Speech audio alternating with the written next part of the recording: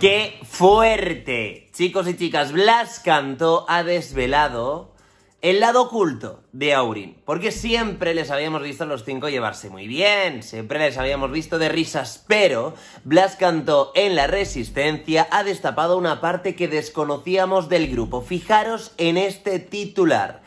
Uno, me pegó y me deben dinero. Yo estoy flipando con esta confesión de Aurin. Vamos por partes. Vamos a la de que uno de los componentes de Aurin le pegó. Blas Canto ha explicado que cuando comenzaron con los primeros ensayos, el segundo día, uno de ellos le pegó en el brazo. Dice que fue un, un golpe, golpe, porque de hecho dice que se le quedó dormido durante toda una semana y que incluso a él le dio un arrebato de decir me quiero ir de aquí, me ha pegado, etcétera. Claro, eh, cuando ha tenido que explicar el motivo por el que le pegó este componente de Aurin, aún ha sonado todo más surrealista porque al parecer fue por una guerra de yo quiero cantar esto, yo no quiero cantar aquello, tú tienes más protagonismo, yo quiero tener más, tú no, no sé qué, o sea, ese tipo de guerras que es normal que se formen en una boy band porque al final hay cinco personas que están deseando triunfar.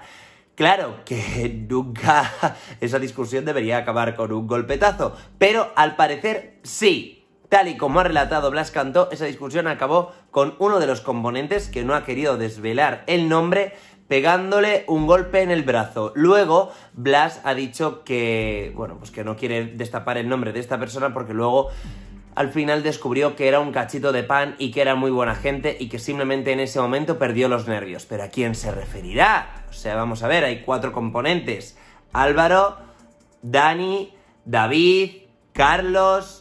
Dios mío, el salseo está servido. ¿Vosotros quién creéis que fue? Por otro lado, ha destapado que le deben dinero. Blas Cantó ha dicho que al principio él era el que tenía más ahorros, que de hecho tenía 3.000 euros ahorrados y que era muy generoso dejando dinero, pero que claro, que luego iba pasando el tiempo y nunca vio que nadie se lo devolviese.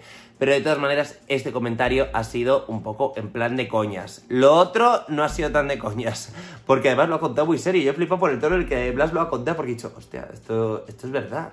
Qué fuerte, qué fuerte. Pero bueno, le ha explicado que eran como una familia, que estuvieron siete años juntos, que ha habido de todo, que ha habido momentos polémicos, que ha habido momentos en los que se lo han pasado muy bien, que se han querido mucho y él guarda un gran recuerdo de la banda. Así que nos quedaremos con eso. Chicos y chicas, ¿vosotros quién creéis que fue el que pegó a Blas Canto? Dadle al like si os gusta este vídeo y suscribíos. Un besote.